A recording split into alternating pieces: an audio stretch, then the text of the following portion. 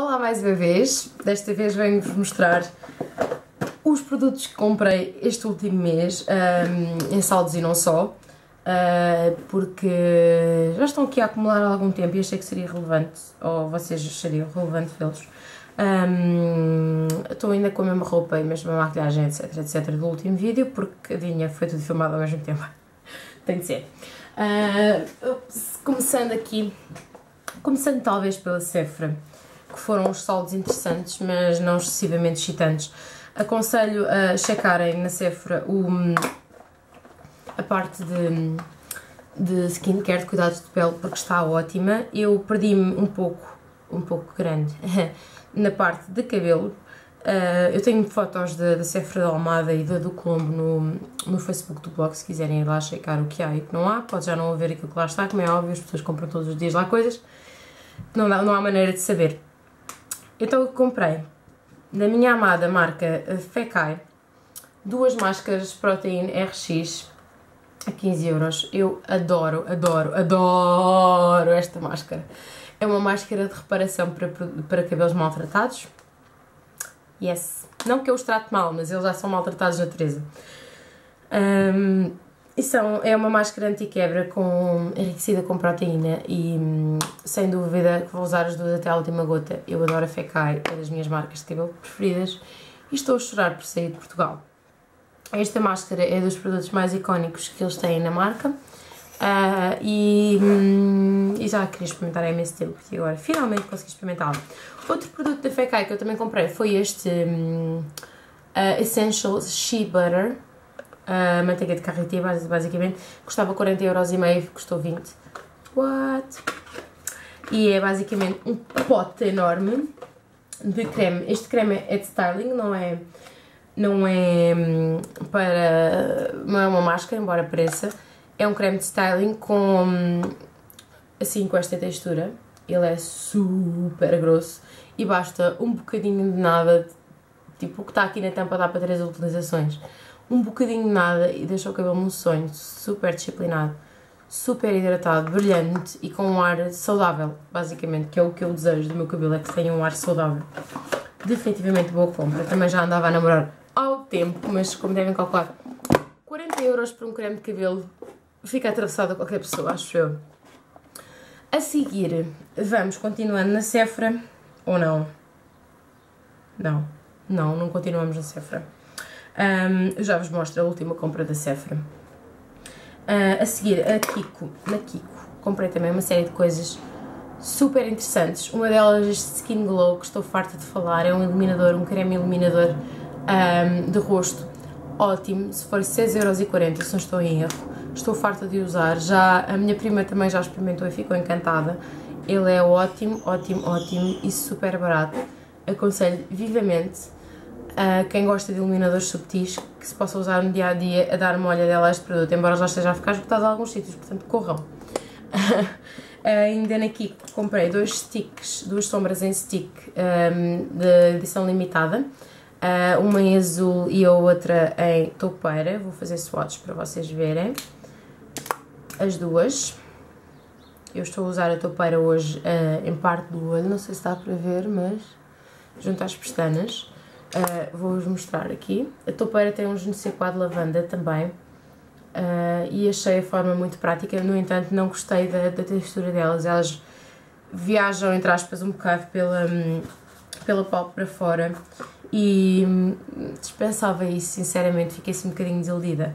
Uh, mas as cores são lindas mesmo. Uh, comprei também esta, esta luva de, de autobronzeador um, para dar uma aplicação mais, mais uniforme. Uh, agora que comprei a luva, uh, não sei do meu autobronzeador. História da minha vida. Um, perdi o meu autobronzeador, não sei dele. Mas pronto, agora já tenho luva. Não sei em que é que eu vou usar, mas provavelmente num daqueles bronzeadores temporários das pernas que dão cor, que se lava que também é muito boa para isso, a luva. Depois, um, ainda nos saldos, na Perfumes e Companhia, comprei uma coisa que já queria há tanto tempo. O, o Dermine da, uh, da Shiseido. Isto não se deve dizer com uma pronúncia francesa presunçosa como eu meti agora mesmo, mas deve-se dizer com uma pronúncia qualquer japonesa que eu não consigo imitar, portanto. Whatever. Um, a embalagem é linda de morrer. É, é, é, o primeiro produto da Shiseido tem uma batelada de anos e, e esta foi a embalagem original com que eles lançaram o produto. E é linda e vai ficar para sempre no meu tocador, porque é linda. E é uma loção. Ah, já agora eu explico o que é que é, que também foi uma, uma dúvida que surgiu muito nos comentários quando mostrei a foto no Facebook. É uma loção, quer dizer que é para pôr a seguir limpar a pele e antes dos cuidados de pele para absorver melhor os cuidados de pele. Funciona como um tónico, basicamente, mas é um tónico hidratante. Uh, comprei ainda na Perfumes e Companhia um perfume, é verdade, cometi um bocadinho de indulgence, mas eu apaixonei-me por este perfume e cada vez que lá ia cheirava e continuava a amá-lo e às tantas, pronto tive de trazer, basicamente, que é o Miss Dior Cherry. E porquê é que este perfume tem uh, em promoção? Pergunto a vocês se ele ainda existe. Ele existe, mas foi renomeado. Uh, e então, o Miss Dior Cherry podem ainda encontrá-lo sob o nome de Miss Dior e o Miss Dior normal, que não era o Cherry, é agora o Miss Dior, Miss Dior Original, or, original, um dos dois, como quiserem. Um, portanto, se quiserem este cheiro é o Miss Dior normal, se quiserem o outro cheiro é o Miss Dior original.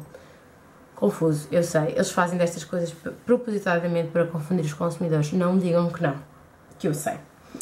Um, por fim, na Perfumes e Companhia, comprei dois batons que foram este Vernis à Lèvres da Yves Saint Laurent, que é maravilhoso. Uh, eu vou-vos mostrar a cor, porque senão... Ups já estou a fazer estragos.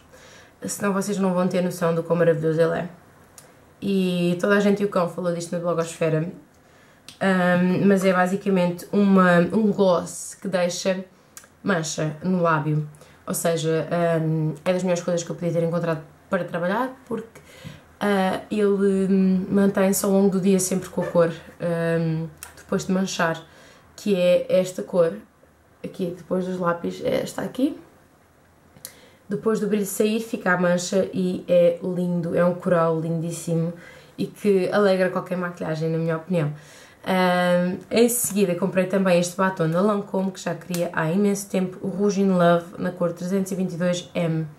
Eu tinha o visto no blog de Vic Seridone e desde então eu queria este batom com todas as minhas forças e quando o vi em saltos pensei não é tarde nem é cedo, uh, é hoje o dia, é hoje a hora. Estes dois produtos já queria, já queria há imenso tempo, bem como, bem como o da Hermine, e estive para os comprar a preço completo, bem como os da FECAR. Quase tudo que eu comprei agora em saldos eu já estive para dar o dinheiro todo por eles. E é este o batom de Lancôme, o último, este aqui. É lindo, também é um rosa, meio coral, meio o que vocês quiserem chamar-lhe, agora tudo é coral, mas pronto. É lindo, lindo, lindo, lindo, lindo e vou-me fartar de usar, tenho a certeza. Já, já me fartei de usar mas vou continuar a usar. Ai, não, não, mostrei, não mostrei dentro da, da bala, mas é assim a cor. Lindo, maravilhoso. A embalagem também é glamourosa, há que dizê-lo. De seguida, uh, quem tem amigas tem tudo, né? E portanto, quando as amigas viajam, o que é que a gente faz? Crava cosméticos, óbvio.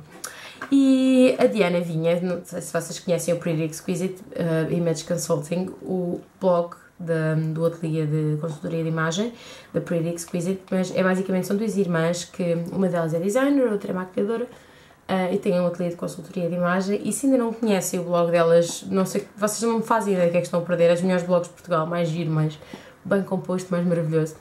E a Diana, tudo isto para dizer que a Diana foi a Nova York e é claro que eu a cravei para trazer coisas em minha defesa ela também ofereceu um, ofereceu-se para me trazer coisas e como é óbvio uma make-up junkie como eu não ia dizer que não, não é? Então pedi-lhe uma das sombras que eu já queria há mais tempo que se chama Tapestry Taupe da CoverGirl que também mais uma vez influenciada pela Vitória Seridona um, eu a quero há imensos anos e finalmente é minha Uh, e ela trouxe-me isto do CVS e acho que foi assim tipo uma pechincha porque as coisas da CoverGirl são estupidamente baratas. Eu estou a usá-la também hoje por cima do, do lápis, não sei se conseguem ver, é esta aqui. Mas ela é um para lindo e mais barato que isto não dá para ver se alguém vai viajar para os States. Peçam-lhe para trazer. Embora eu vá deixar um link de uma loja que agora vende também CoverGirl em Portugal. uma loja online, mas nos Estados Unidos é sempre mais barato. Pedi-lhe também uma outra Lash Blast, uma CoverGirl Lash Blast Mascara, que é das minhas máscaras de pestanas preferidas, tem uma escova fantástica, Eu, ela não está aberta nem a vou abrir porque tenho muitas máscaras na calha para serem usadas e adoro. E estou ansiosa por experimentar esta versão de resistência 24 horas para ver se é à prova da água, se é só resistente, estou muito curiosa para experimentar. Mas por enquanto vai ter de esperar. Por fim, outra coisa que me. Por fim, não, ainda falta mais uma coisa a seguir a esta.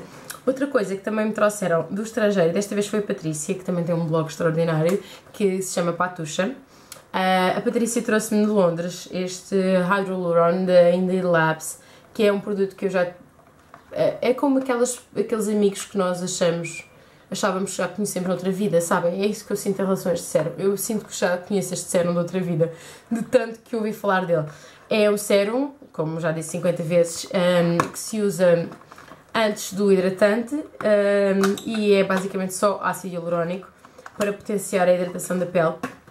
E, um, e toda a gente e o cão recomenda, recomenda este sérum, dizem que é a melhor coisa do mercado e não é extraordinariamente caro, especialmente nas promoções da Boots de 3 pelo preço de 1. Ele é, é minúsculo, vocês não têm. Olhem, olhem o tamanho da minha mão ao pé dele. Eu não, não fazia ideia que o tubo era tão pequeno, até eu tirar da caixa. Vejam só. O tamanho da minha mão versus o tamanho do tubo. Fantástico, não é? Mas estou ansiosa também por usá-lo. Ainda, também, ainda não posso usá-lo porque tenho muita coisa à espera de ser acabada. Mas quando acabar, vou usá-lo sem dúvida. Agora sim, last but not least, isto vai exigir alguma coordenação motora que eu nunca percebi. Comprei nos saldos da Sephora um kit fantástico da Nails Inc, que é esta marca aqui, de vernizes, eh, e eu estou a usar um hoje, já agora, se conseguirem descobrir, é este, não é? Como é óbvio. Um, já queria experimentar esta marca desde que chegou a Portugal e antes disso até as Brits fartam-se de falar destes vernizes e comprei um kit com estas cores todas, que são quase todas as cores que a marca faz. Uh, e fiquei super feliz porque o kit custava 45 euros e eu dei 9 euros por ele. Portanto, fiquei com estes vinhos todos da marca. Alguns são matos, outros têm brilho, outros têm, são glitter mesmo. Uh, há para todos os gostos mesmo e acho que vou usá-los imenso mesmo a todos. Uh, achei as cores lindas, já fiz swatch um, para ver como é que elas eram. Alguns são mate, tipo estes dois são mate e outro também é mate, o que não era expectável, mas são giros à mesma e eu não tenho verniz originalmente mate, o que foi uma edição, uma adição interessante à minha coleção neste caso. Pronto, agora que já consegui pô-los todos, é uma handful, literalmente. Espero que tenham gostado de ver as minhas compras destes saldos. Uh, vão, explorem, vejam o que é que precisem e abasteçam-se nos saldos, porque poupa-se sempre muito mais dinheiro do que comprar durante o ano. Uh, portanto, se conseguirem antecipar as vossas necessidades, muito, muito bom. Uh, espero que tenham gostado do vídeo e até uma próxima.